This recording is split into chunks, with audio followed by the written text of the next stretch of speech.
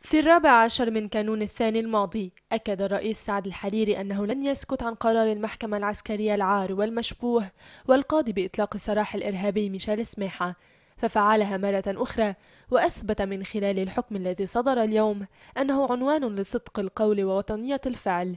ومن هذا المنطلق وتحت هذه العناوين أطلق الناشطون عبر تويتر هاشتاغ صدق سعد الحريري احتفاء بتحقيق العدالة. فقد صدق سعد الحريري عندما قال لن يذهب دم وسام هدرا.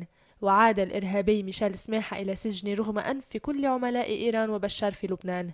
وخلال فترة لا تتجاوز الشهرين تحلحلت العديد من المسائل العالقة في البلد من أزمة النفايات إلى قضية سماحة وقريبا أزمة الرئاسة.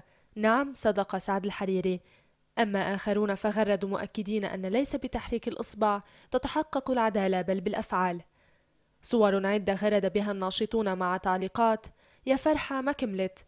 ومثل الشاطر توجه المجرم سماحة إلى وراء القضبان. ليستعيد أخيرا البعض شعار الحق معك واليوم أكثر.